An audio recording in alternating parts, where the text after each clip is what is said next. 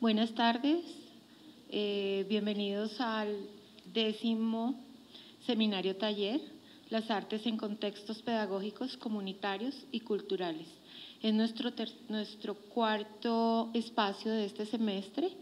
Eh, me complace presentar el proyecto dirigido por la profesora Yanel León. Eh, se llama Expresando y proyectando mi futuro en Famindarte.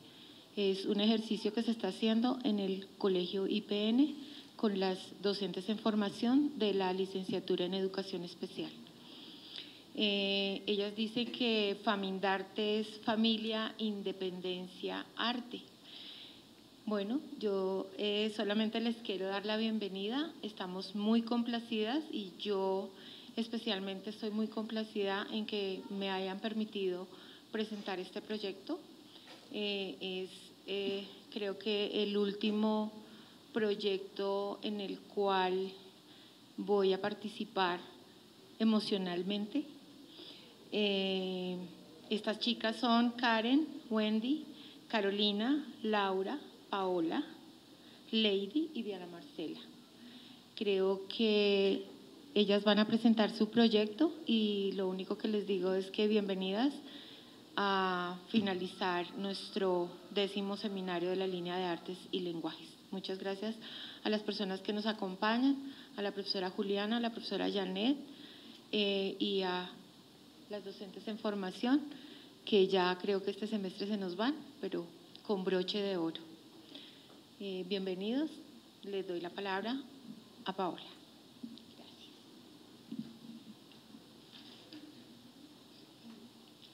Buenas tardes. Em, el día de hoy les vamos a explicar, a mostrar nuestro proyecto pedagógico investigativo. Eh, como ya lo dijo la profesora Alejandra, eh, nuestro proyecto se llama Expresando y Proyectando mi futuro en Famindarte, que significa familia, independencia y arte. Eh, nuestra asesora Janet León y las integrantes Karen Fernández, Wendy Flores, Carolina Jaramillo, Laura Páez, quien les habla Paola Roncancio, Lady Serna y Diana Zambrano. Eh, el proyecto investigativo lo desarrollamos en el IPN, Instituto Pedagógico Nacional, Colegio de la Universidad Pedagógica Nacional. Eh, el, proyecto está adscrito a la línea de artes y lenguajes, además está adscrito al Centro de Estudios y Servicios en Pedagogía en Familia. Bueno, como ya les dije, el proyecto se desarrolló en el Instituto Pedagógico Nacional, el cual cuenta con la sección de educación especial. Este cuenta con cuatro niveles eh, en los cuales están, los estudiantes ingresan de los 6 años y están hasta máximo 23 años. Por cada nivel eh, están 4 años. Eh, en nivel 1 y 2 se trabaja preescolar y escolar. Nivel 3, eh, pretaller, que es ya preparar a los estudiantes para su vida laboral. Y nivel, eh, nivel 4 ya es más profundización para salir a, a esa vida laboral.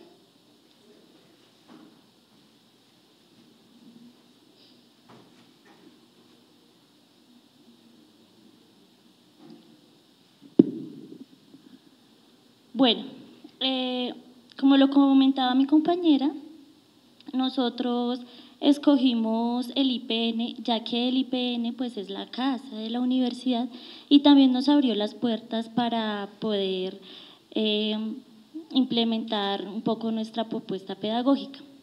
Nuestra propuesta pedagógica eh, tiene tres contextos importantes, los cuales fueron la escuela, la familia y la comunidad.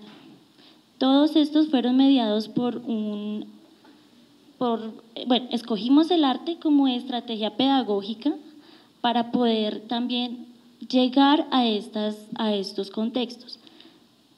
Nosotros al comienzo de nuestro proyecto estuvimos en seminario. En el seminario hicimos unos relatos de vida, los cuales nos sirvieron para conocer cuáles eran esas necesidades que tenían las familias en torno a qué querían que sus hijos aprendieran o qué querían en sí que nuestro proyecto aportara a sus vidas. En esta necesidad salieron dos componentes importantes, que fueron independencia y autonomía, los cuales fueron base para nosotros comenzar a crear nuestra propuesta. Eh, como ya les mencioné, tuvimos tres contextos que fueron escuela, comunidad y familia. Em,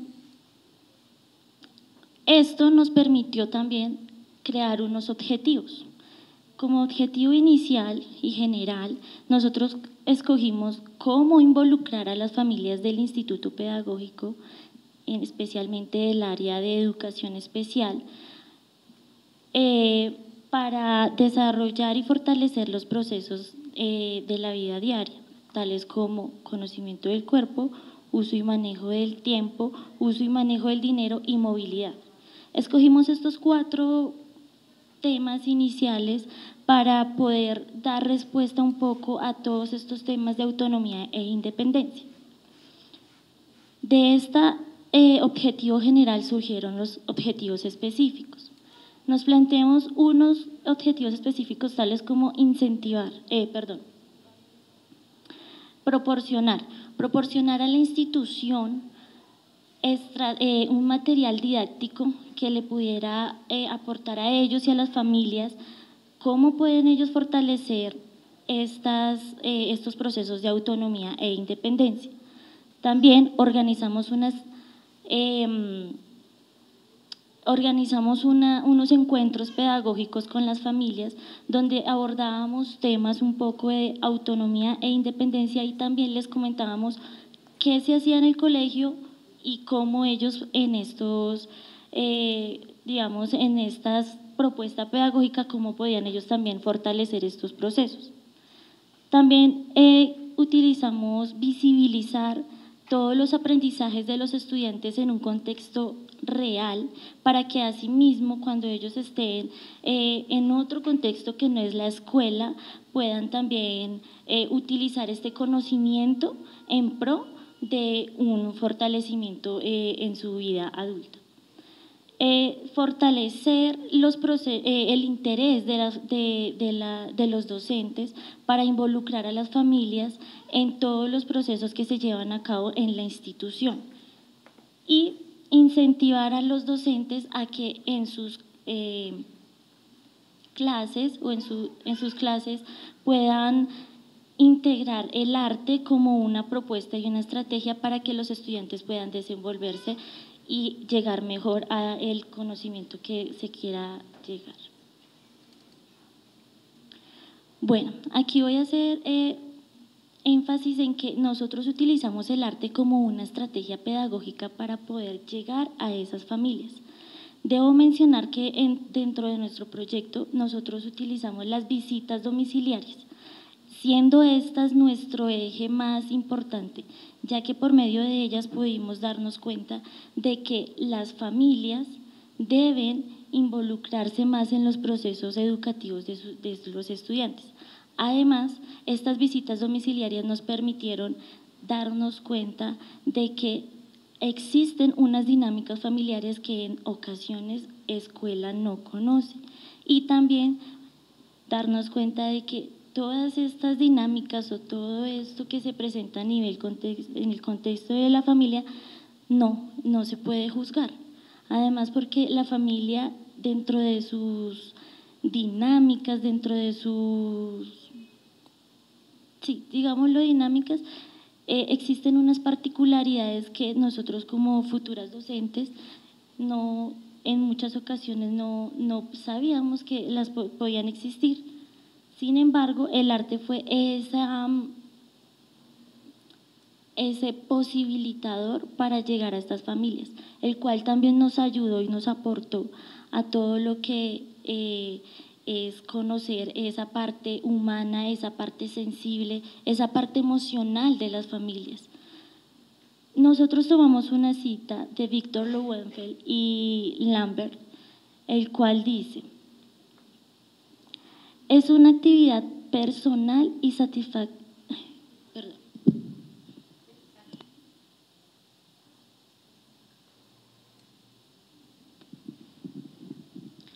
Es una actividad personal y satisfactoria en cualquier edad, porque aunque las artes son responsables de una mayor concienciación del mundo exterior, son también las artes las que dan salida a las emociones, alegrías y temores de la vida. Esto nos permitió en las visitas domiciliarias llegar un poco más a esas familias. Fueron experiencias que a nosotras como educadoras especiales futuras nos enriqueció mucho. Y eh, también nos dimos cuenta que el arte fue, al comienzo fue como ese, esa, esa como, ¿cómo se dice? Como esa excusa para llegar a esas familias. Porque debo mencionar que aunque fue en escuela, comunidad y familia, nuestro fuerte fue la familia. Y eso sí ha posibilitado muchas, eh, muchos procesos en los estudiantes.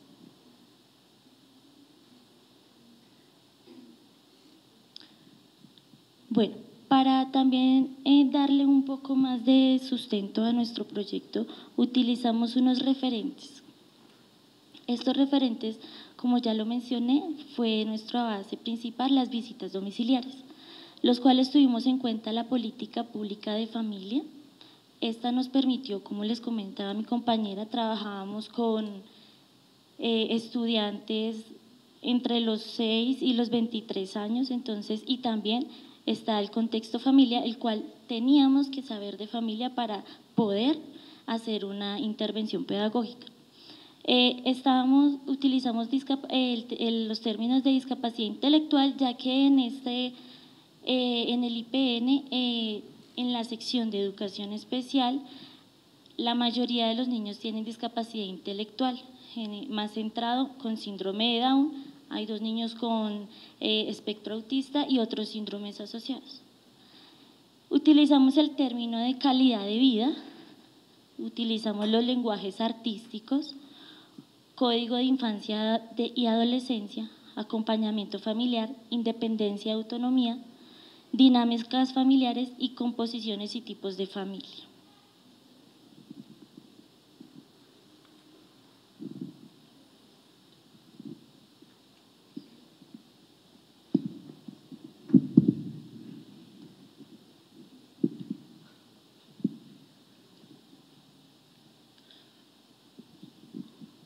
Bueno, eh, teniendo en cuenta lo que ya nos mencionaban anteriormente, nosotros en nuestro proyecto utilizamos eh, el enfoque cualitativo, el cual nos permite a través de la identificación, la investigación, mirar esas realidades por su naturaleza. ¿sí? Entonces, a través de este también eh, utilizamos como estrategia la teoría fundamentada. Esta teoría nos da base para crear una teoría teniendo en cuenta la investigación que se hizo. Sin embargo, pues el tiempo del proceso de proyecto es muy corto, entonces no alcanzamos a crear una teoría, pero dejamos las bases, que son las categorías emergentes que salieron de, nuestro, de nuestra investigación. Eh, también hicimos eh, útiles algunas técnicas y estrategias que fueron los relatos de vida, las entrevistas, y estas son muy particulares para nuestro proceso. Eh, asimismo, nos, basamos en el, en el paradigma sociocrítico, lo cual, uniendo estos tres componentes, nos une a la investigación acción participativa. Eh, bueno, por otro lado está nuestro marco pedagógico. Este marco eh, tiene un enfoque principalmente de la, del modelo social de la discapacidad. Luego nos paramos en el modelo McCriff, el cual fue desarrollado por una docente de aquí de la universidad en el año 2012, la docente Dora Majarres, y este modelo tiene cuatro líneas de investigación. Estas líneas son eh, la línea de crianza, donde tenemos que tener en cuenta que cada familia tiene un contexto de crianza, el cual es muy diferente a todas las demás. Es decir, mi familia tiene un contexto que la tuya no tiene, que la tuya no tiene, cada uno tiene un contexto diferente. La segunda eh, son las creencias sobre discapacidad. Asimismo, eh, cada persona tiene una creencia según eh, una concepción de, la discapacidad. Entonces, estas concepciones son válidas y tienen que ser respetadas y poco a poco, pues con el trabajo que se va desarrollando, se llega a un consolidado. La otra línea es la línea de discapacidad y particularidades. Esto quiere decir que cada sujeto tiene una particularidad, algo que lo hace propio y a partir de esto, pues surge y va creciendo y enriqueciendo su proceso en la vida. Eh, la última es la línea de relaciones intrafamiliares. Esta, esta línea habla de que pues, en la familia hay relaciones que deben ser mediadas y que cada familia tiene una relación diferente y que esas relaciones se deben respetar. No podemos decir, ay, no, tu familia es buena, tu familia es mala, no. Cada familia tiene unas relaciones y deben ser respetadas. No podemos entrar a juzgar, pues, qué está pasando dentro de esa familia. Eh, asimismo, todo este, todo este, este marco pedagógico está mediado por el modelo de Dewey. Entonces, eh, este modelo nos dice que el aprendizaje que se va a realizar debe ser aprendizaje significativo, ¿sí? Que todo lo que hacemos es muy importante. Entonces, teniendo en cuenta pues lo que mis compañeras mencionaban anteriormente de la escuela, la familia y la comunidad, lo que nosotros quisimos con nuestras propuestas o nuestras planeaciones fue que lo que se trabajaba dentro del aula, dentro de la casa y en la comunidad fuera algo que fuera algo vivencial, algo que realmente impactara tanto a los estudiantes como a la familia y asimismo a los profesores.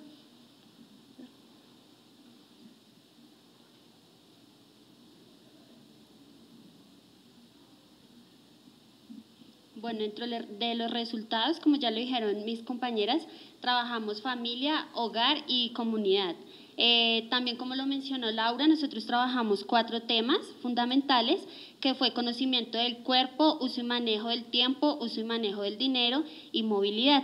Entonces, bueno, eh, en cuanto a los resultados, se puede evidenciar que en uso y manejo, perdón, conocimiento del cuerpo, nivel 1 y 2, que son los más pequeños, aprendieron a reconocer su cuerpo y asimismo a respetarlo. Eh, nivel 3 y 4 trabajo lo que es autoestima, que es respeto y cuidado de sí mismo, aceptarse además así, porque además reconociendo que todos somos diferentes. Eh, en cuanto al tema de tiempo, nivel 1 y 2 conocieron lo que es adverbio de tiempo, eh, nivel 3 y 4 trabajamos lo que fue conocimiento del reloj, la diferencia de reloj análogo y reloj digital y asimismo que se diera uso según el que más se le facilitara. Además, trabajamos agendas en las cuales eh, debían organizar las actividades que hacían a diario, eh, día, fecha, hora, y así iban teniendo la concepción de tiempo y además iban organizando sus actividades. En cuanto al dinero, eh, bueno, los dos últimos temas impactaron bastante. Eh, uso y manejo del dinero y movilidad. En nivel 1 y 2 se manejó lo que es eh, la concepción de, dinero, el valor del dinero, reconocerlo y diferenciarlo. Nivel 3 y 4, lo que hicimos fue decirle a las familias que ya nivel 3 y 4 ya son estudiantes grandes, dentro de 15 años en adelante, entonces la idea era que los papás, decirle a los papás, bueno, no les manden onces, mándeles el dinero y con, e, con ese dinero que ellos aprendan a ser responsables, ¿sí? Que si yo le doy 20 mil pesos, que él compre sus onces, pero que además deben llegar a la casa con vueltas, ¿sí? Que no se pueden gastar todo el dinero en un solo día, sino que deben darle buen uso a su dinero. Eh, y movilidad, eh, lo que hicimos fue hacer actividades también, como ellas lo dijeron, en comunidad. Nosotros salimos al centro comercial Unicentro, en donde todos desde nivel 1 hasta nivel 4 llevaban su propio dinero y allá mismo ellos decían qué era lo que querían comprar. Nos movilizamos eh, desde la institución, desde el instituto, hasta el centro comercial Unicentro y allá cada uno decidió qué era lo que quería comprar manejando su dinero, todos, desde nivel 1 hasta nivel 4 eh, lo hicimos. En, comunidad también trabajamos, hicimos un simulacro de tienda, además que, bueno, dentro del contexto del IPN, la sección de educación especial está aparte. Eh, están los cuatro niveles aparte del colegio, lo que es primaria, de lo que es bachillerato. Ellos tienen su, su parque para ellos entonces, ¿qué hicimos nosotros? Nosotros cogimos y dijimos, nos vamos a trasladar al otro lado de, la institución, vamos a estar allá y vamos a compartir con los demás, ¿por qué no hacerlo? Entonces, eh, los llevábamos a la cafetería a tomar onces, que era algo que nunca habían hecho. Entonces nosotros hicimos eso, vamos al otro lado, vamos a la biblioteca, vamos a otros espacios de la institución, vamos a compartir allá con los demás y que también los reconozcan, porque también son seres humanos. Entonces vamos a, estar allá, hicimos simulacro de, de una tienda eh, donde vendimos, donde vendimos obras de arte que hicieron los mismos estudiantes desde nivel 1 hasta nivel 4, allá en la tienda se vendieron las obras, pinturas, se vendieron tarjeticas, se vendieron también, se vendió también comida y asimismo ellos también eran los que vendían, pero también ellos compraban, ¿sí? También le daban el uso, el uso al dinero. ¿Me falta uno? No. ya eso fue, eso, eso fue básicamente lo que hicimos y, y realmente impactamos precisamente por el contexto en el que nos encontramos, ¿sí? Los llevamos al otro lado y esto, además las familias, las familias quedaron eh, empoderadas, quieren que, que, este proceso siga. Nosotras aquí culminamos eh, nuestro proceso, pero ellos realmente quieren que esto continúe, ¿sí? Porque como les digo, eh, la sección está aparte, ¿sí? Y pues como lo decimos, el colegio aún siendo eh, parte de, la universidad, son concepciones que, que, son muy diferentes que se tienen de inclusión en el colegio a las que tenemos acá en la universidad. Entonces quisimos ir a hacer, hacer cambios y pues no fueron grandes cambios, pero lo que hicimos fue, fue satisfactorio, además para los estudiantes, porque además como, como, ¿qué sienten ellos? al estar al otro lado, al tener un parque para ellos solos y que es un parque pequeño, ¿sí? Y estar siempre en el mismo lugar. Entonces, nos fuimos para el otro lado, al otro lado, a que, a que ellos también conocieran y que ellos también eh, hacen parte del colegio. Muchos no conocían la biblioteca del colegio, No sabían cómo pedir un libro en la biblioteca, ¿no? ¿Sí? Entonces nos vamos para la biblioteca a pedir un libro. Y así mismo ya también los conocen Además que son estudiantes que saludan a todo el mundo, ¿sí? Y, que, y además que los estudiantes de, bachillerato como, ah, bueno, ellos qué, ¿sí? No, ni los conocían. Entonces, eso, eso hicimos nosotros y además rescatando, como decía Laura, que todo fue por medio del arte. El arte nos permitió llegar a las familias, nos permitió llegar a los estudiantes, a los profesores, entonces, pues, básicamente esos son los resultados.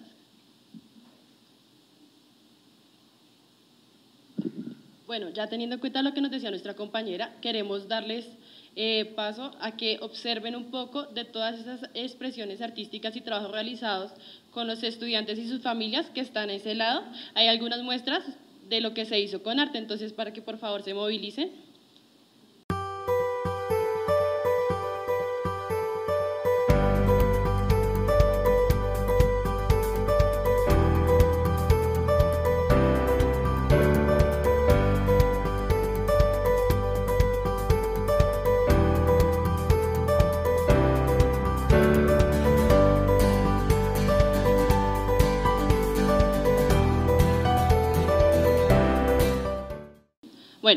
Eh, después de todo este eh, desarrollo del proyecto, surgieron unas proyecciones.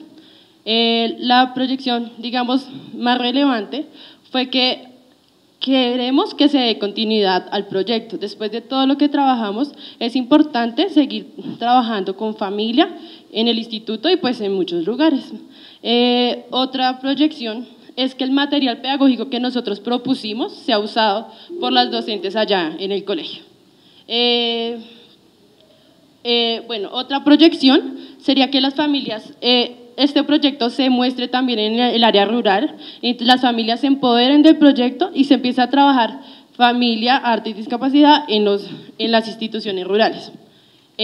asimismo, pues divulgar todo lo que se trabajó en el proyecto, que se creen alianzas con las instituciones y se siga trabajando pues el proyecto.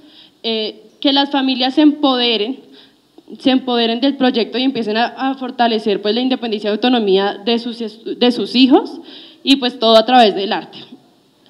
Eh, frente a la línea, queremos que todo lo que se desarrolla aquí en la línea, que es bastante importante, se ha transmitido a las familias y que se tengan en cuenta las familias y no sean solo los estudiantes los que estén aquí, sino que las familias también se involucren en estos espacios. Eh, otra proyección también es crear una página web donde se muestre pues todo lo que hemos trabajado, eh, todo lo que se hizo en el proyecto. Pues esta página web pues, que sea utilizada por estudiantes, docentes, eh, familias, toda la comunidad en general. Y pues la, la última es que haya un empoderamiento y que esto surja realmente y que no se quede solo como un proyecto de grado y ya, sino que realmente sea relevante y se pueda usar en otros contextos.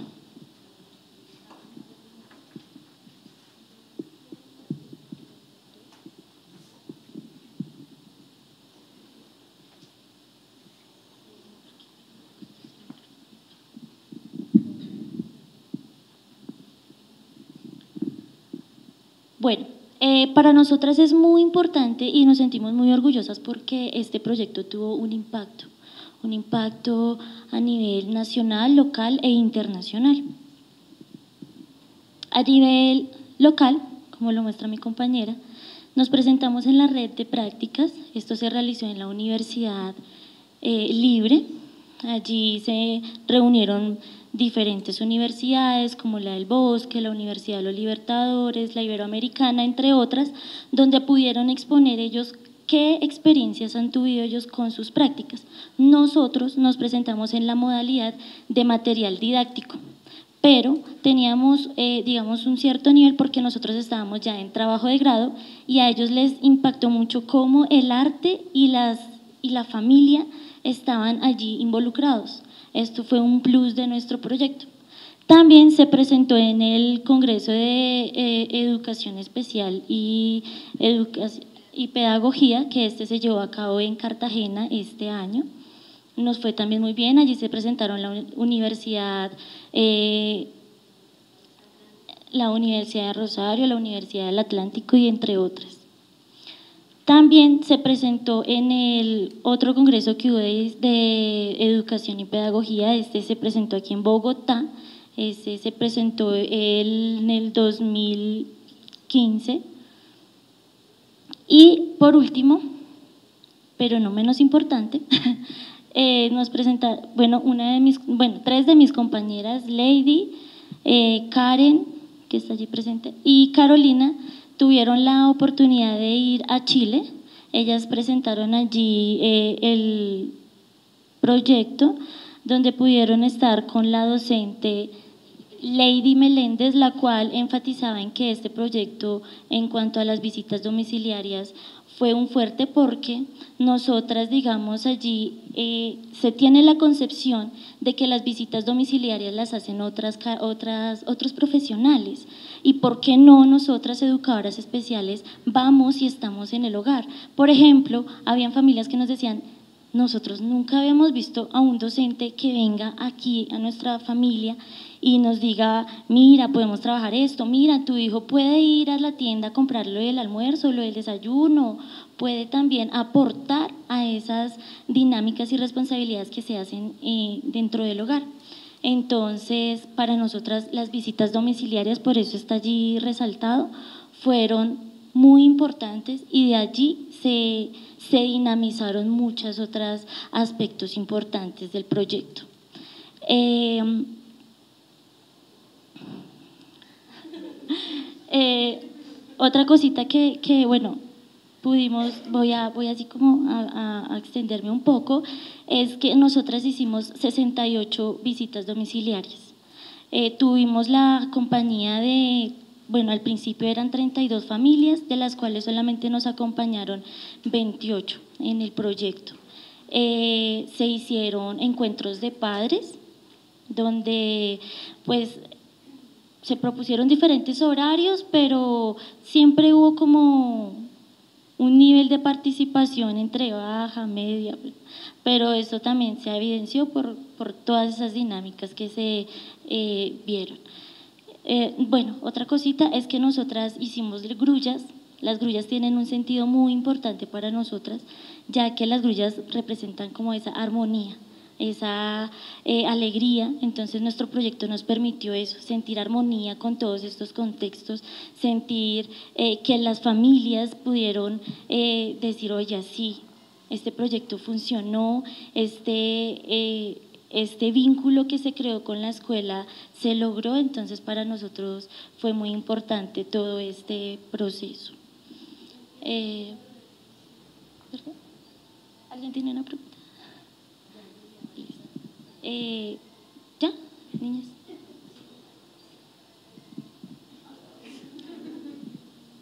Bueno, yo creo que... Eh, perdón, perdón, perdón, perdón. Ay, todavía no termino. Qué pena, que eh, vengo a entregar una sugerencia del proyecto familiar. Sí. ¿Quién la recibe? Janet León. Janet León.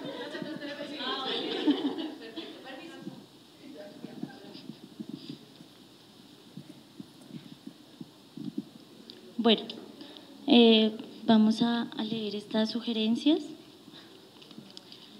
Bueno, aquí nos dicen que redes de apoyo, familia, escuela y comunidad, efectivamente, las redes de apoyo tienen que ser, no solamente fue un posibilitador para nosotros crear estas redes de apoyo, sino que adicional a eso, siempre debemos estar enmarcados en que una red de apoyo nos sirve incluso a nosotros.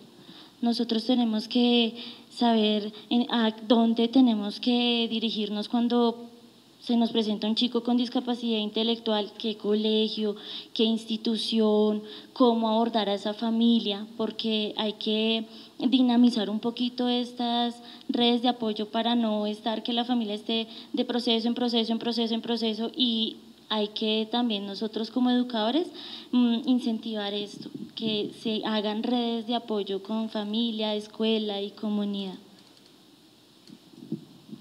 Eh, otra de las sugerencias es darle uso a las TICs. Una de las proyecciones es dejar una página web donde además eh, las familias sigan empoderadas de este trabajo, sigan con, con, el trabajo que hemos venido haciendo y también involucrar a los docentes del, del IPN. Bueno, otra sugerencia que aquí nos llega es que se fortalezca la comunidad a través de estrategias artísticas. Entonces, así como se fortalece a la familia a través del arte, es importante que la comunidad empiece a hacer uso del arte, no como el, el que eh, ser arte es solo cantar o solo ir a hacer una obra de teatro, estas cosas, sino es el expresar las emociones de cada persona, transmitir lo que sienten. Entonces, es muy importante que esas estrategias se, se visibilicen en la comunidad.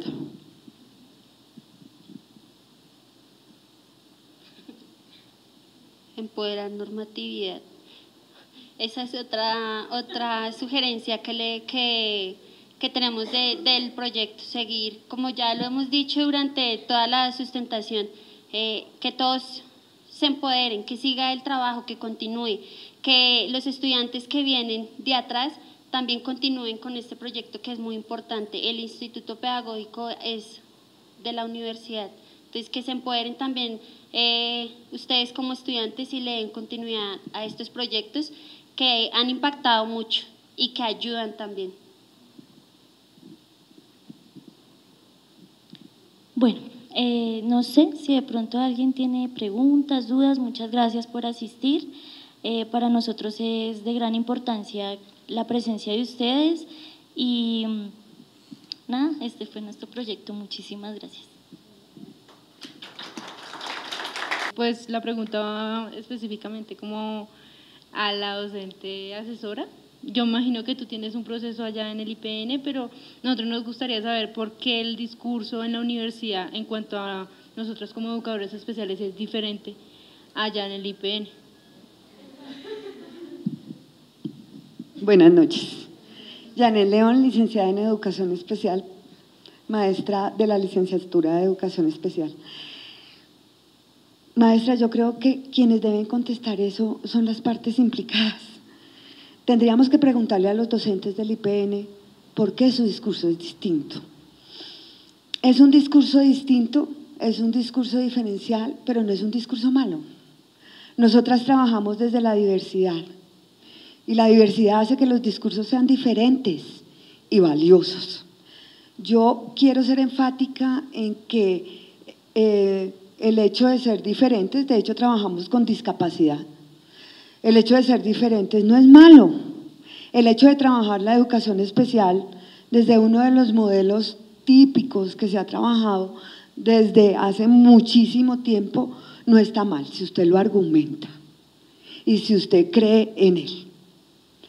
Eh, te voy a poner el ejemplo, bueno, no voy a decir nombres, sé que esto está siendo grabado, eh, de muchas instituciones a nivel nacional que trabajan la educación especial tal como la trabaja el IPN y son altamente exitosos. ¿Sí? Sí, los dos discursos son diferentes, pero no riñen. No riñen. Y este proyecto lo demuestra. ¿Mm? El Instituto Nacional, el, el, IPN, la sección de educación especial, fue la primera que trabajó en Colombia la educación especial. Y eso es meritorio. Eso es de reconocerse. Fueron los pioneros del trabajo en la educación especial. Y creo que como casa debemos sentirnos orgullosos de eso. Y debemos seguir simplemente su histórico. Nosotras desde la licenciatura, las docentes en formación, ya colegas, simplemente llegamos a aportar desde nuestra perspectiva de trabajo en educación especial. Son discursos diferentes, pero son discursos que se complementan, sencillamente. ¿Por qué se dan? Porque así es la diversidad maestra. Justamente. ¿Qué te encuentras ahí? Pues, ¿cómo has visto, o sea, cómo se ha visto un proceso de, inclusión, de, bueno, de... Directamente en el IPN. Por eso te digo, habría que preguntarle directamente a ellos cómo lo trabajan. ¿cierto? Son ellos directamente. Yo llegué a hacer el proyecto, a proponer este proyecto. Sin embargo, las chicas creo que sí nos quedamos cortas un poquito en esta presentación en eso, y es la contextualización. Su nota no se ha subido al sistema, señoritas. La contextualización, contextualicen a la compañera.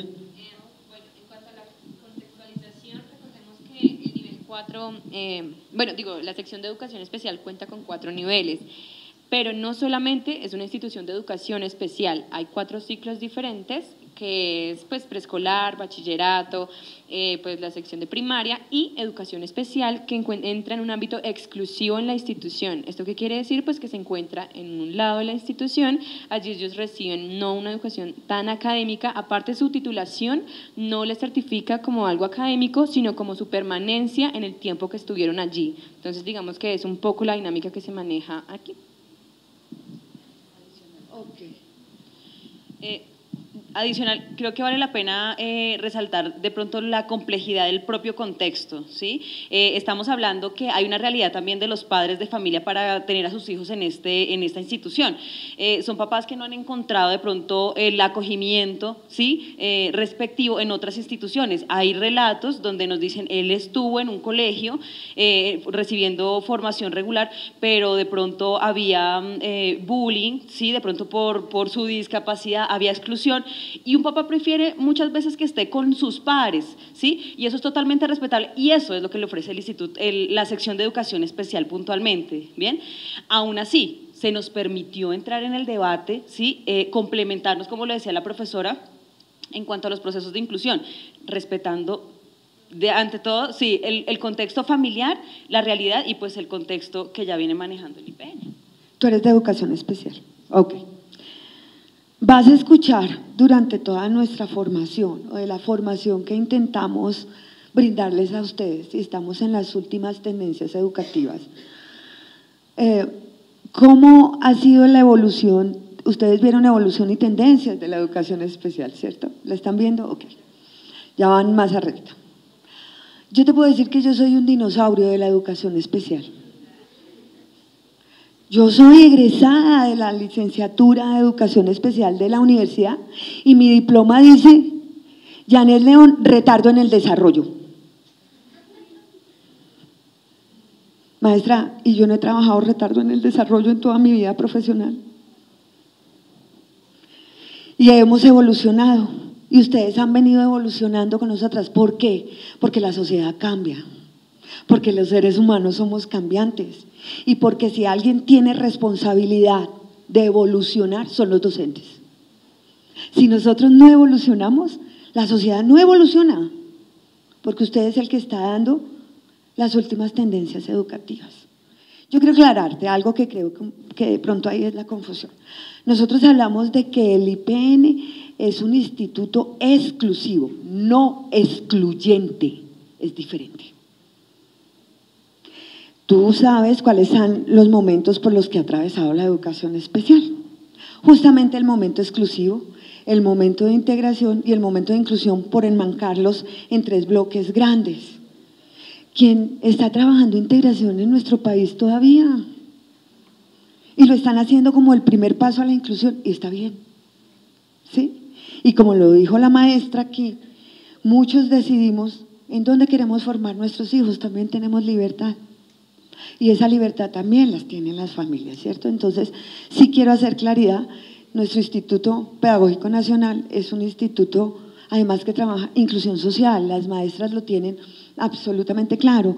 Cuando vayas eh, adentrándote en la carrera y en los semestres, vas a ver la inclusión como modelo social, como paradigma social, no únicamente educativo. ¿Sí? Y hablamos de la inclusión como un paradigma social. Y allí tenemos diferentes tipos de inclusión. ¿sí? Entonces también se maneja la inclusión. Nosotras llegamos a hacer una inclusión familiar que es la que proponemos desde este proyecto. ¿Alguien más tiene otra pregunta?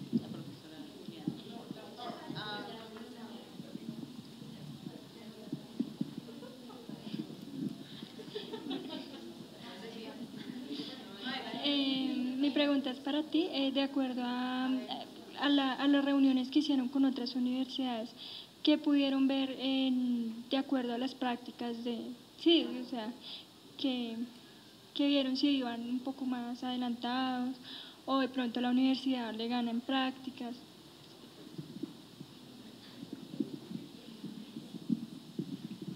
Bueno, yo, ¿qué te puedo decir? Digamos que en la red de prácticas, eh, como te dije, fue fueron las universidades que estaban haciendo las prácticas pedagógicas. Nosotros no entramos como práctica, entramos como proyecto de grado.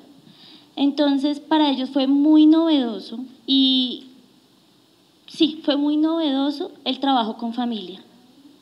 Entonces, fue, para nosotros fue como muy importante porque allí resaltaban eso, como les decía yo, no se veían las visitas domiciliarias por parte de nosotros como educadores y bueno, educadores especiales.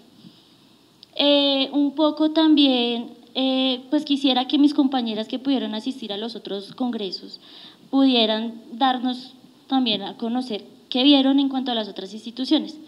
Entonces, ah, bueno, en ese encuentro, como te digo, eh, nos, nos, felicitaron por las visitas domiciliarias, también vieron que el arte fue un, un, mediador en todo esto de la comunidad, la escuela y la familia.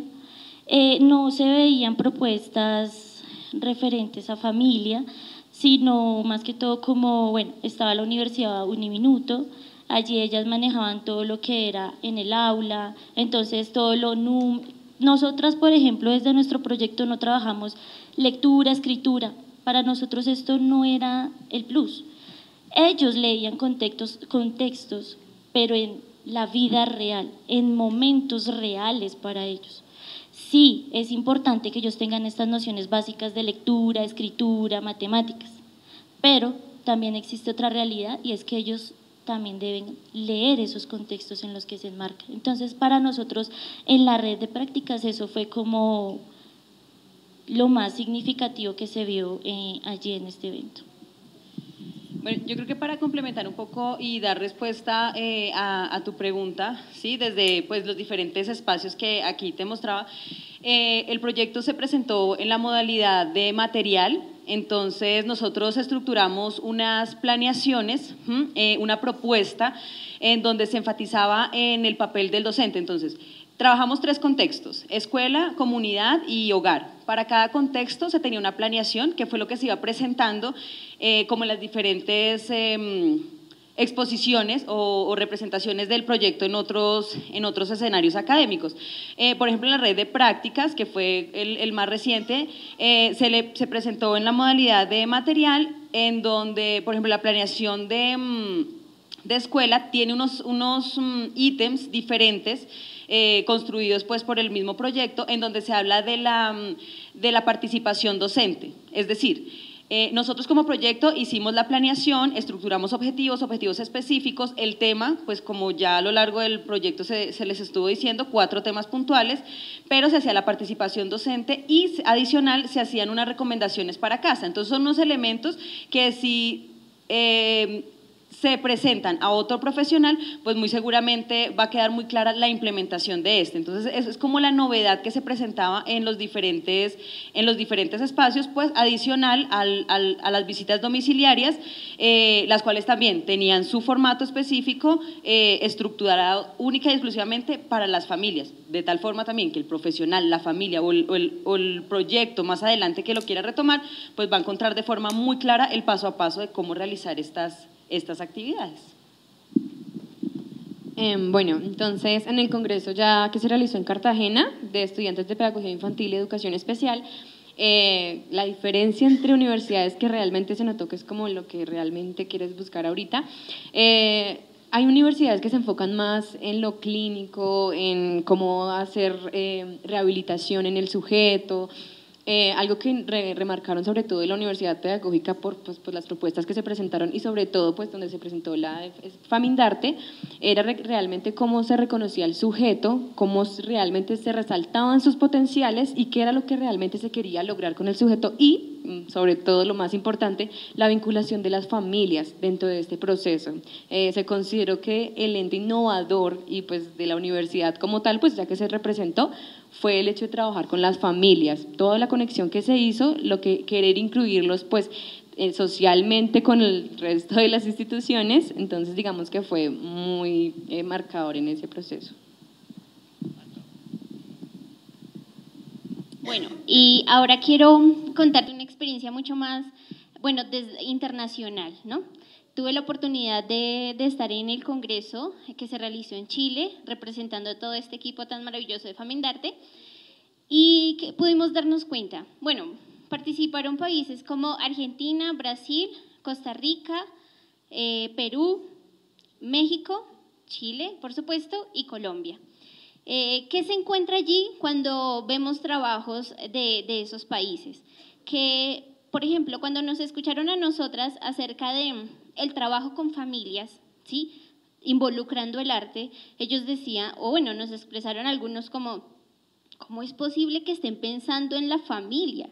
O sea, vamos lejos, ¿sí? Porque ellos algunos están parados desde la integración y lo que se están pensando es el aula todavía, ¿sí? ¿Cómo hacer que, que el chico, eh, el niño o el joven pueda ingresar al aula, lleve un proceso igual a los demás estudiantes, ¿sí? Entonces, cuando nosotras presentamos nuestro proyecto y participaron también otros proyectos de la Universidad Pedagógica Nacional, eh, decían, bueno, ustedes van más adelante, ustedes están pensando no solamente el aula, están pensando también las familias. Hay otro proyecto de aquí de la universidad que se piensa también las familias, también la comunidad, nosotras pensamos también en la comunidad. Y para nosotras fue muy gratificante que en el momento en que nosotras socializamos nuestro proyecto, quien dirigió ese momento fue una docente de Costa Rica, Lady Meléndez, la docente, mm, y ella decía, oiga, es interesante eh, que ustedes estén pensando en la familia, que están pensando la, la inclusión y están teniendo en cuenta la familia. Mientras que, por ejemplo, recuerdo un proyecto que, que, escuchamos con las compañeras de Argentina, yo dije Argentina, también estuvo Argentina, Em, estas docentes lo que trabajaban era a través de, revistas, de, bueno, era más que todo en una, en un aula, ¿sí? Era solamente con los chicos, lo que trataban de hacer era tratar como de homogenizar el proceso, ¿no? Entonces, él sabe leer, es importante que él también sepa leer. Él sabe escribir, que ellos también sepan escribir. Entonces, lo que ven en Colombia es que a través de otras dinámicas, en este caso a través del arte, puedan recibir una formación sin decir que la lectoescritura y la matemática no son importantes, pero que estamos atendiendo las necesidades prioritarias de la población. Entonces, si me preguntas, eh, ¿tú eres de educación especial? Siéntete orgullosa porque en Colombia se está haciendo, o sea, vamos más adelante. ¿Sí? Que hay cosas que, como decía nuestra docente, hay cosas que pues necesitamos cambiar algunas cositas, transformarlas, pero bueno, creo que, ah bueno, además resaltaron que la licenciatura y nosotros, aun siendo estudiantes, nos estén formando para la investigación, porque todos los que estaban allá eran ya docentes, que tenían muchísima experiencia, que han investigado, que tienen libros, y cuando uno eh, se para al frente y explica nuestro proyecto y darse cuenta que estamos investigando, eso marcó mucho la diferencia. Entonces Colombia va por buen camino. Yo solo voy a hacer una pequeña propaganda, si me dejan. Y es que este proyecto está escrito al Centro de Estudios en Pedagogía y Familia de la universidad. Este ha sido, digamos que, un espacio que se ha construido junto con la profesora Dora Manjarres y el profesor Andrés Gaitán. Y hemos trabajado ya hace mucho tiempo para, con y por las familias no únicamente de las personas con discapacidad, sino para nuestro contexto universitario también. Tenemos atención directa a las familias y estas niñas, estas estudiantes, estas señoritas estuvieron vinculadas al centro de familia como co-investigadoras de una investigación de los docentes, que es una modalidad que tenemos en la licenciatura de educación especial. El resultado que ellas dan aquí en esta investigación será publicado en un libro eh, que estamos trabajando desde el centro de familia. De hecho, dos de las estudiantes aquí son monitoras del centro de familia y así es como pretendemos nosotros eh, trabajar la investigación para nuestras futuras docentes.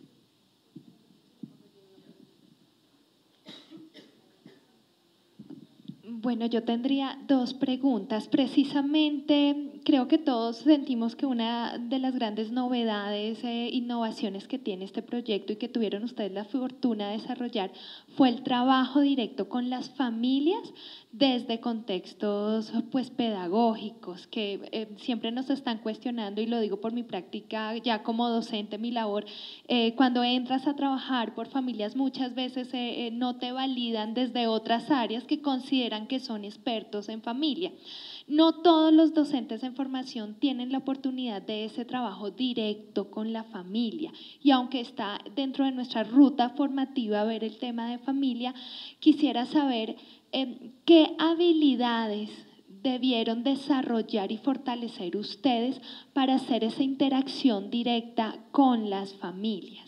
que siento que en este momento podríamos decir, eh, tuvieron una gran ganancia al tener como este reto. Em, y ese plus que siento que todos los educadores especiales debemos desarrollar, pero pues aquí estamos en, niveles, em, digamos, en primeros semestres eh, iniciales. Entonces quisiera que nos contaran cuál, cuáles consideran ustedes que fueron esas fortalezas o ese empoderamiento que tuvieron que hacer desde su rol como docentes para el trabajo con familia.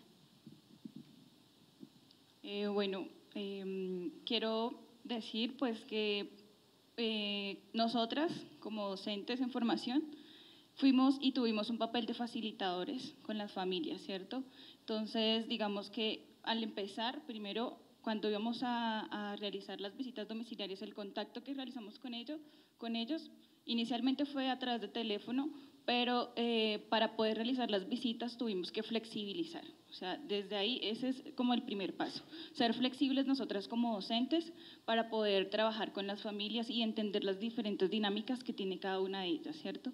Eh, tuvimos que crear empatía con ellos porque digamos que aunque nuestro trabajo cuando llegábamos allá era pedagógico, em, en muchas ocasiones ellos nos contaban historias de lo que pasaba, de sus procesos, de sus dinámicas, de sus relaciones intrafamiliares.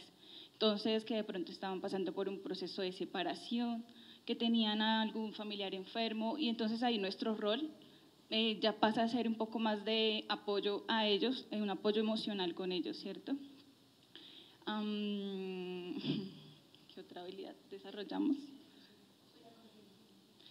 Exacto, entonces en ese momento, digamos, en esos momentos de, de que ellos nos cuentan, o sea, es como que las familias se desahogan con nosotros, empiezan a contarnos absolutamente todo. Y primero tienes que eh, tener una actitud de escucha, escuchar absolutamente todo lo que te están contando y esperar que la persona se desahogue y después de eso pues realizar un proceso de contención con ellos, no dejar, eh, no sé, dar- brindarles el apoyo y darles como la, la mm, decirles como una ruta para que ellos sigan, como que tienes pues que conseguir apoyo, ¿sí? buscar un apoyo psicólogo, porque nosotras no somos psicólogas, no sabemos manejar el duelo.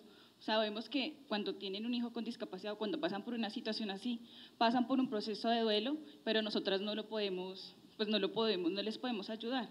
Entonces, eh, lo que hacemos es pues guiarles una ruta y ese es el proceso de contención que nosotros hacemos. Añadir también que, bueno, voy a, hacer este ejemplo, ¿no? Em, cuando las personas se confiesan con el sacerdote, él tiene un voto de- del sigilo. Nosotras comprendimos que también lo debemos hacer. En primer lugar, cuando los escuchamos, no podemos caer en juicios. No podemos decir, oye, esta familia es disfuncional o esta familia no sirve.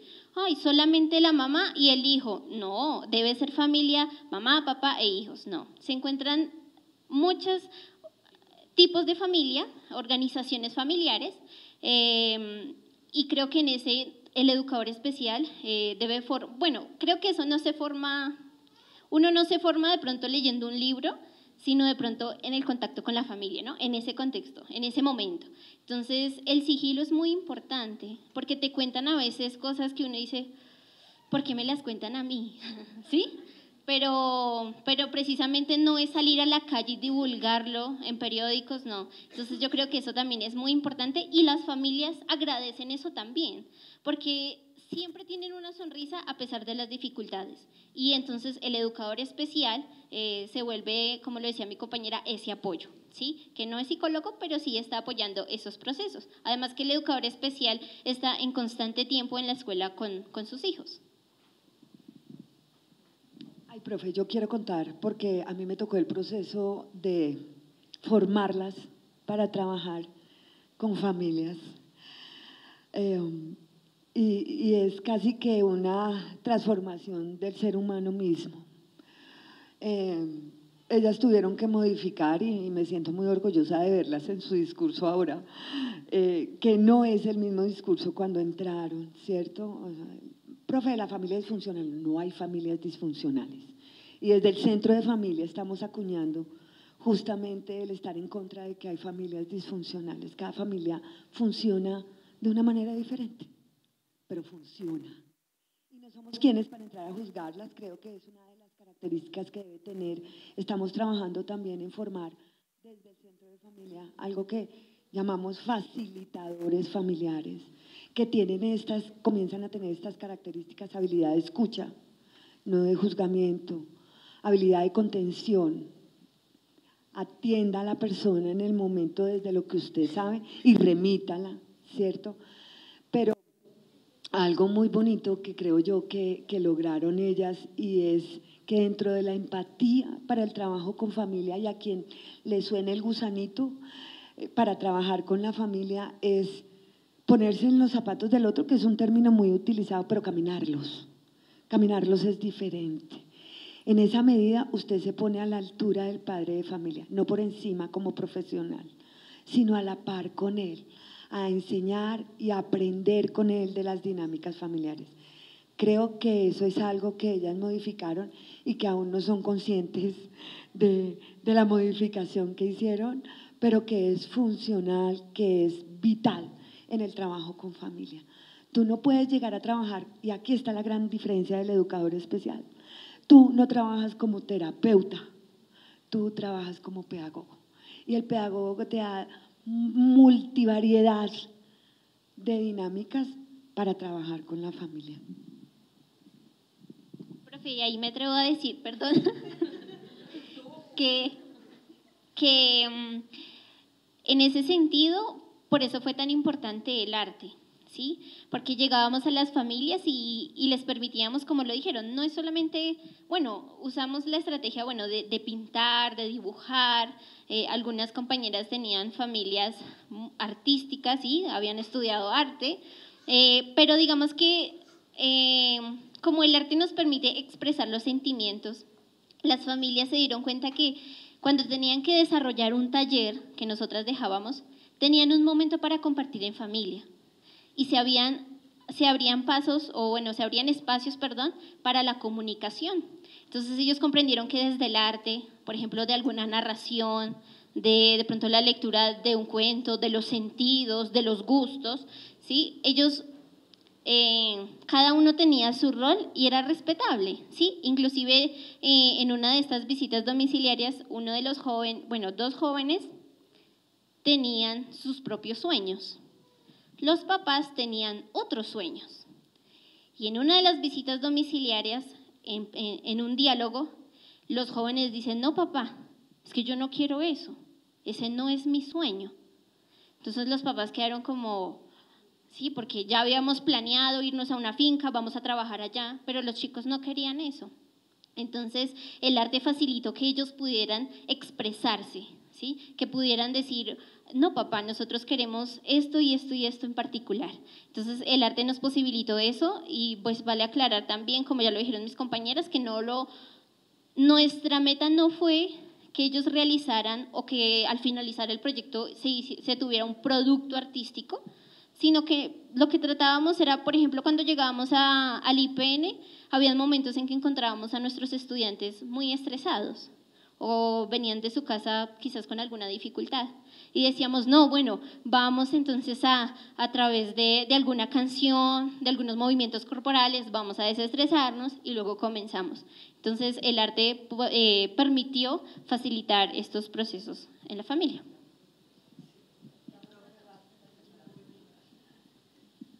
Bueno, y la segunda pregunta tiene que ver exactamente con lo que Lady estaba mencionando. Ustedes hablan ahí que utilizaron el arte como mediación eh, para el trabajo con familia y quisiera saber si nos podrían contar detalladamente qué lenguajes artísticos utilizaron, cuáles sintieron que eran como las eh, tendencias, los gustos, los intereses de las familias al acercarse a ellos, insisto, cuáles fueron las habilidades que yo como educador especial eh, tuve que fortalecer para incluir estas estrategias en mi quehacer y si de pronto alcanzamos a identificar eh, si alguno de estos lenguajes artísticos en particular ayudaba más a fortalecer o a desarrollar alguna habilidad o si eso tenía que ver de acuerdo a los intereses eh, de las familias y los participantes. Eh, bueno, para responder a la profesora, eh, utilizamos los lenguajes artísticos, artes escénicas, artes visuales y artes plásticas. Eh, que, se, que se enfocaran en uno solo, no, era de acuerdo también a las habilidades de cada, de cada familia, de cada estudiante. Entonces, esto nos permitió, ya como lo dijeron, que, que se expresaran, pero uno como tal, no fue de acuerdo a las, a las habilidades de cada familia, de cada estudiante.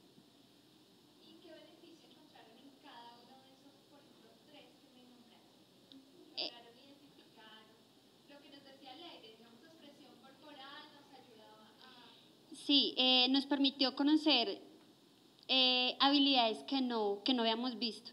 Entonces, cuando hicimos obras de teatro, eh, habían chicos que cuando, estudiantes, cuando llegamos, eran muy tímidos, no, no hablaban, no, no nos decían nada. Entonces, por medio de, de, los lenguajes artísticos, de las artes escénicas, pudimos conocer más de ellos, pudimos desarrollar esas habilidades, fortalecerlas además, entonces, sí, pero una como tal, no.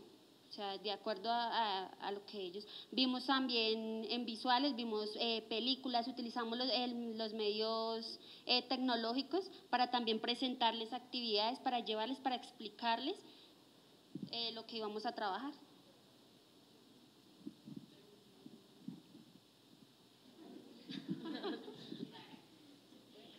bueno, quiero recalcar algo muy importante que pasó en mi nivel. eh, en el nivel 3 pues, de la sección donde estaban los chicos en pretaller, eh, allí los, eh, un estudiante en especial eh, la motricidad fina no, no, digamos que no era muy funcional. Entonces el estudiante, eh, pues intentamos mucho lo que es pues, la pintura y demás, puesto que era un centro de motivación para él, le encantaba pintar. Eh, se llevó un proceso con él, entonces vamos a hacer desde lo macro, o sea, de lo más grande, eh, pinturas muy amplias, hasta lo pequeño.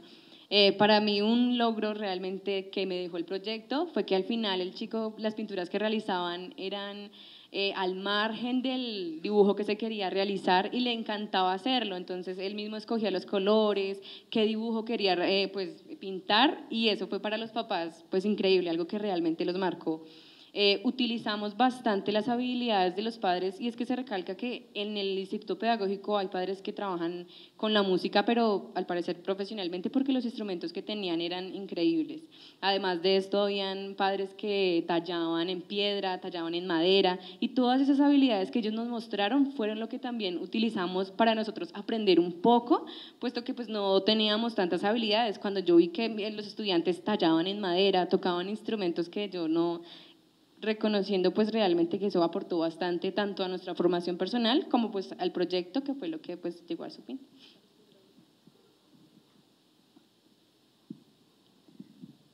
Bueno, profe, un poco como para finalizar, digamos que yo diría que también nos ayuda a nosotras a, a creer, a creer en lo que estamos haciendo, a crear eh, como esos vínculos de confianza, porque si no creemos en que la propuesta que nosotros le llevamos al estudiante va a posibilitar o a fortalecer esos procesos de autonomía e independencia, sencillamente no se logra. Entonces la confianza, el creer en lo que nosotros estamos haciendo nos posibilitó esto. Además que, mm, como lo dice mi compañera, eh, tuvimos que estar en estos lenguajes, siempre no nos casamos con uno, porque habían estudiantes que no, o sea, no hablaban. Ah, por ejemplo, nosotros tuvimos uno con Karen que el chico eh, espectro autista, él no hablaba, no se comunicaba. Entonces, ¿qué, qué hicimos? Por medio del color, por medio de, bueno, listo, eh, no sé, un video, él siempre estuvo participando. Y las docentes titulares decían, no, él no hace nada. No, ¿para qué le preguntamos?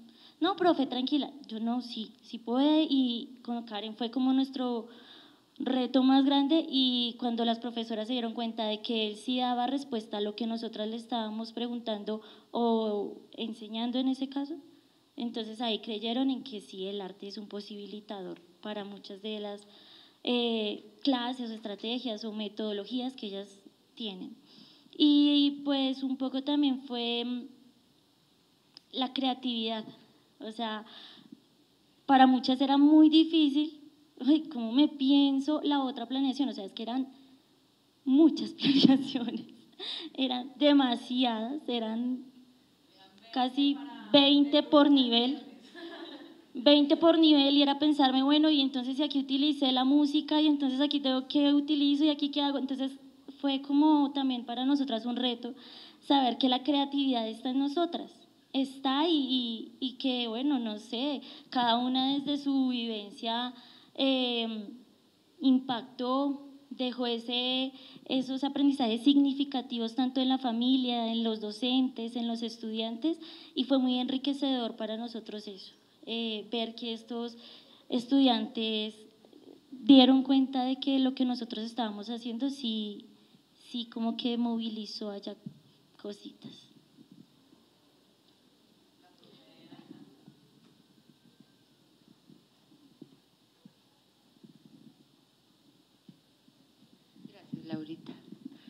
Eh, bueno, yo una cosa que quiero decirles es que eh, me impacta realmente este proceso que han llevado ustedes en el IPN. Las felicito a la profesora Yanet por la guía que siempre ha sido con ustedes desde el comienzo.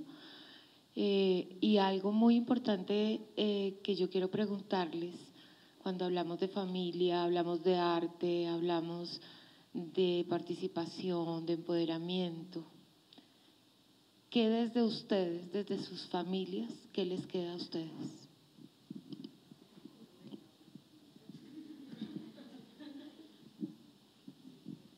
Bueno, no sé si la profe quiere que respondamos una por una o en general. Yo creo que nos queda mejor en general. Pero creo que mm, el cambio es, es, es, importante, ¿sí? Es importante reconocerlo.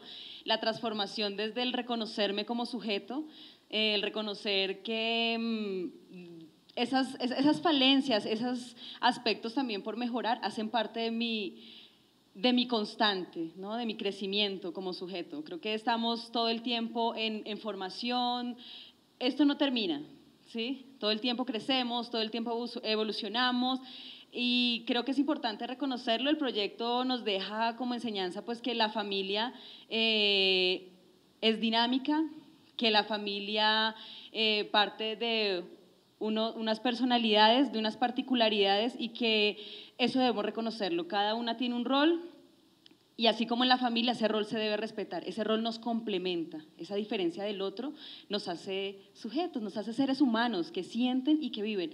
Eh, creo que nos vuelve sensible a la lectura de contextos. Como educadores es necesario eh, pensarnos como, como la familia. ¿sí? Todos tenemos una familia y creo que en esos momentos ustedes están representando un grupo, ¿sí? Muy importante, es la esencia. Entonces, la transformación va eh, hacia el reconocimiento. Mi familia, como le decía la profesora, es funcional, siempre lo ha sido, siempre lo será. Eh, familia también es esa parte emotiva que hoy, por ejemplo, nos presentamos. Somos familia Famindarte. Eh, no porque no tengamos la misma sangre, sino porque tenemos el mismo sentir y porque durante dos años nos complementamos durante dos años aprendimos eh, a, apoyarnos, ¿sí? Entonces entre las debilidades nos, ayudamos, nos colaboramos y eso hace parte de la familia. Creo que la concepción de familia cambia y a partir del cambio que cada una tiene en estos momentos en sus corazones, eh, eso mismo se va a transmitir no solamente en el aula, sino socialmente. Creo que esa es la transformación que va de nosotras y pues la idea es que se generalice. Hoy los invitamos a ser parte de esta familia eh, por el hecho de compartir, por el, tiempo, el, hecho de sacar sus tiempos, sus preguntas, sus inquietudes. Creo que es la parte más sensible y humana del ser humano.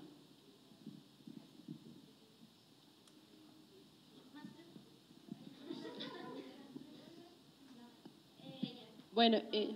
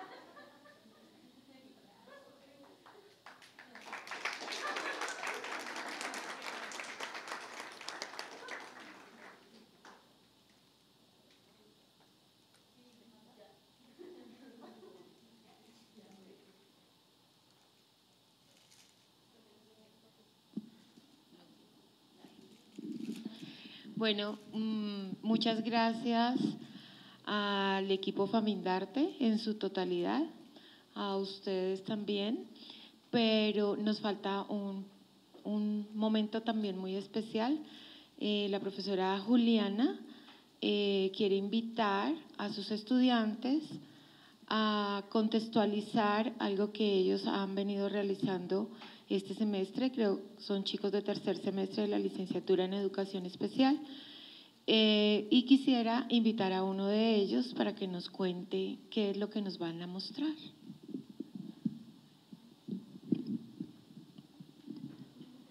Muchas gracias, chicas.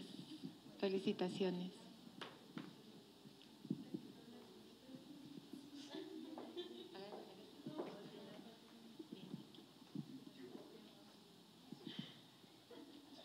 Buena tarde para todos. Em, pues no tenía conocimiento, pero bueno. Eh, lo que ustedes ven a esta parte fue como el resultado, no están todos, pero es el resultado de mm, un proceso o el proceso que tuvimos durante todo el semestre con la clase de sensibilización y expresión artística con la profesora Juliana. Eh, básicamente lo que ustedes ven ahí fue el reflejo. Mm, ella siempre nos recalcó y me parece genial porque nunca quiso que aprendiéramos técnicas. Sencillamente se trataba de mm, expresar a través del arte. Em, y esto con herramientas como el cuerpo, eh, la música, el yeso, pintura, siempre fue importante el cuerpo. Y no sé si alguien me quiere ayudar porque yo no sabía que iba a hacer esto. Dime.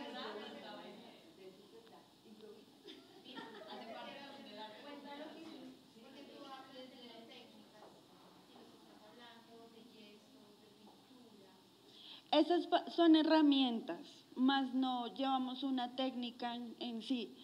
Entonces se trataba precisamente de usar el yeso y la pintura para lo que nosotros quisiéramos expresar. Em, en mi caso, es, son los senos que ven allí de blanco. Y básicamente lo que yo quise expresar fue pues belleza, mujer, eh, sexualidad y sobre todo libertad. Em, de una u otra forma, no siendo lo único, no siendo lo más importante, eh, si ustedes ven ahí hay un feto, eso hace parte de la libertad femenina como lo es el aborto. Em, colores, quise usar muchísimos colores y, y flores porque considero pues como belleza, resaltar la belleza de la mujer Em, ya. No sé si quieran preguntar algo porque... Ay, profe. Ay, una italiana. Bien, yo quiero preguntar pues a ustedes, ¿cómo fue la estrategia de la profe? ¿O cómo fue la estrategia del espacio académico? Porque yo veo que hay boticas, máscaras,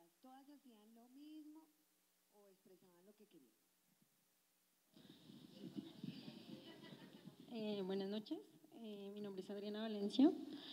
Y pues la verdad en este espacio académico yo creo que pues para todos fue un proceso muy enriquecedor. Eh, la profesora llevó una secuencia, pues la verdad fue como sorpresa porque pues hubo teoría, conocimos exponentes artísticos y se trabajó mucho la parte de, expresión de sentires. Entonces, pues para llegar a este producto, ella propuso eh, unas actividades de expresión corporal por medio de la música, eh, pues en la cual comentábamos que eh, se dieron momentos pues como enriquecedores y como que nos esperaban el, el, el movimiento de... Bueno, para llegar a esto, ella nos hizo como una reflexión, entonces nos, nos acostamos en el suelo, eh, con música, ella nos iba haciendo como, como relatando una historia, diciéndonos que va pasando el agua por las piernas, va subiendo, bueno, así. Y la idea de, de esto era hacer un escrito sobre el cuerpo. Ya, entonces esto es como que bueno, sobre pues mi cuerpo, lo que sentí, sobre cómo, eh, eh, lo, que, pues, lo que viví durante la experiencia. Y a partir de este escrito, pues elegiríamos una, esa parte para, para hacer eh, el producto. Y pues sorpresa fue que pues yo creo que muchos, y no, de hecho se, se, se, se habló en clase, eh, pensamos en partes totalmente diferentes y a la hora ya de, de hacer el producto fue totalmente diferente. Eh, eh, pues no sé, la experiencia creo que también fue a partir de un compañero que también nos sorprendió mucho. Oscar hizo un producto que nos dejó, bueno, su, hizo su mano. Oscar es un compañero que tiene discapacidad visual y él la tituló, no recuerdo bien si con mis manos veo el mundo. Eh, él es un chico que casi no se expresa así, pues digamos, uno le pregunta en la clase cómo te sentiste, eh, que no, no quedó claro para nosotros profundizar la descripción de una imagen, aparte porque pues eh, la clase se basó en las artes visuales, entonces en las pinturas, las descripciones tenían que, pues tratábamos de que fueran muy completas, entonces se le preguntaban y él, bien, chévere, sí, pero ya, se limitaba como a, a esas palabras. Y pues con su mano pues ya expresó que los colores que le ayudaron, eh, sí, fue como eh, algo que nos impactó a, a todos.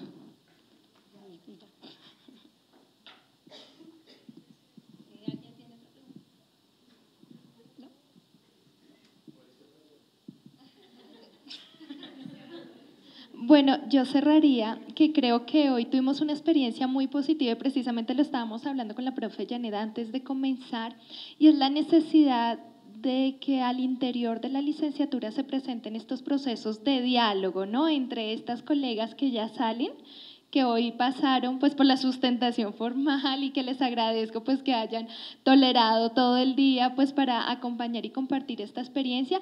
Y con nosotros pues digo nosotros porque eh, los, nos acompañamos desde el tercer semestre eh, iniciando este proceso, iniciando este camino. Y a mí me parece muy valioso y muy rico que hoy ustedes estén aquí presentes para que se den cuenta cómo es este proceso eh, tan riguroso de crecimiento, de la ruta formativa, de acá y ganar habilidades desde lo narrativo, desde lo discursivo. Y un poco eh, lo que yo quería mm, o traté en el espacio de, expresión, de sensibilización, expresión artística con este trabajo en particular es que reconociéramos nuestro cuerpo como herramienta principal de trabajo. Eso es lo que tenemos los docentes, nuestra voz, nuestro cuerpo, y entramos a interactuar con otros cuerpos eh, que son diferentes, que no son comunes, con colectivos de cuerpos como puede ser una familia. Eh, y para mí fue muy interesante ver cómo este ejercicio, siempre que lo hago, siempre son las manos o la cara, que son como los lugares seguros, ¿no? Y con curiosidad vi que este grupo se atrevió a hacer otras cosas y se atrevió a desnudarse. O sea, no lo digo por, eh, bueno, sí tuvieron que desnudarse, evidentemente, pero lo digo que se atrevieron a, a poner en conocimiento el hablar de su cuerpo, el, el, arrancar reconociendo su propio cuerpo, esas huellas que tengo, esas cicatrices que tengo, esos recorridos que he hecho, ese contacto con el otro, porque si algo tiene la educación especial es que tiene mucho contacto físico con el otro y muchas veces es mi cuerpo el que moviliza otro, eh, permitió empezar este camino, este recorrido, que es, espero tener el placer de verlas en unos años, así como veo a estas compañeras que, pues, que ya egresan y que ya son colegas. Para cerrar, eh, este fue un seminario muy interesante porque tuvimos una muy buena convocatoria y repetí caras, o sea, me agrada ver que hay un grupo ya de estudiantes interesados en la línea, entiendo pues lo que compromete venir a esta hora, salían siempre de clase corriendo y de una u otra forma ustedes se dan cuenta aquí cómo a través eh, del proyecto de familia se empieza a gestar un semillero, se empiezan a gestar procesos de investigación, estamos hablando de publicaciones, estamos hablando de viajes nacionales, locales, internacionales donde llevamos nuestra experiencia. Entonces, pues eh, la invitación para el próximo semestre es empezar a fortalecer mucho más nuestra línea desde un semillero de investigación que nos permita partir de ese apasionamiento, de ese gusto, de ese interés, empezar a repensarnos y pensarnos otros contextos, porque miren, ellas lo que nos muestran, los educadores especiales impactando en otros contextos, en otros lugares. Eh, y me parece muy interesante, pues agradezco, siento que fue un, eh, un semestre muy productivo, eh, siempre tratamos de traer variedad dentro de las exposiciones, pero creo que lo más importante, y, y es muy bonito cerrar con esas experiencias y esos sentires y esas ganancias que tenemos al interior de nuestra licenciatura. Muchísimas gracias, sé que ha sido un semestre bastante agitado. Esperamos vernos el próximo semestre. Seguramente ustedes ya no van a ver... Eh, algunas asignaturas de la línea, pero saben que este espacio siempre va a estar abierto para estos procesos de aprendizaje y de crecimiento. Felicitaciones, yo tuve la oportunidad de ver a Famindarte en PPI 2 y lo que hoy me presentan es totalmente, pues una evolución de ese proceso. Millones de bendiciones eh, y que todo lo que han trabajado y hoy Lady le decía, siéntanse orgullosa de la pedagógica, siéntanse orgullosa de las licenciaturas, salen muy fortalecidas, habrán muchas preguntas por el camino, pero pues esta siempre será su casa y ojalá como egresadas las podamos seguir teniendo acá e invitadísimas siempre al semillero, a la línea de artes y lenguajes. Muchas bendiciones.